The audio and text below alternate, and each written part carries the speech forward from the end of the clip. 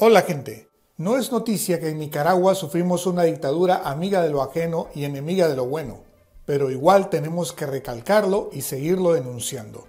El robo de la única universidad independiente que aún subsistía en Nicaragua ha tenido un impacto profundo en la sociedad. Y no es para menos, la UCA no era solo la única universidad sin lazos rosado-chicha que existía, sino la de más prestigio e influencia en la vida nacional. Por ello, hasta los hijos de muchos cuadrados del régimen estudiaron o hicieron como que estudiaron ahí. Se robaron la UCA, pues, pero no pararon ahí. También se robaron la casa donde vivían los padres jesuitas, junto con muchas otras cosas que a pesar de no estar vinculadas directamente a la universidad, quedaron en posesión del régimen.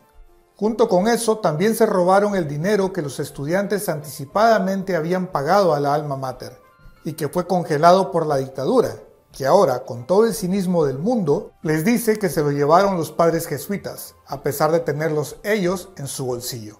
No, no es broma. Así de burdos y cínicos son los dictadores.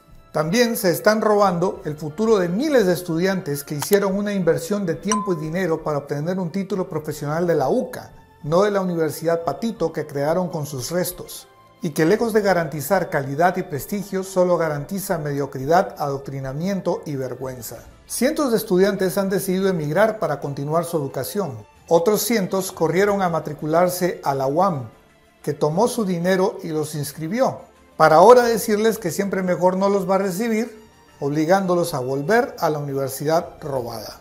Demostrando que cuando los militares dueños de la UAM llaman mi comandante al criminal de lesa humanidad del Carmen, no lo hacen solo por protocolo.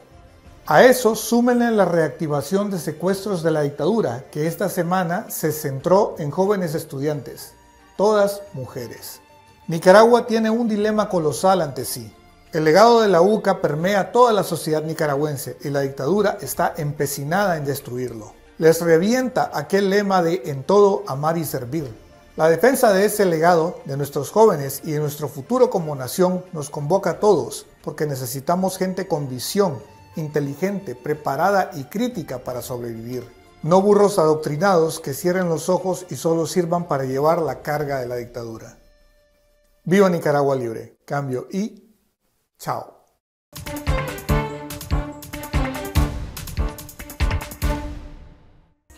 Gracias por ver este video.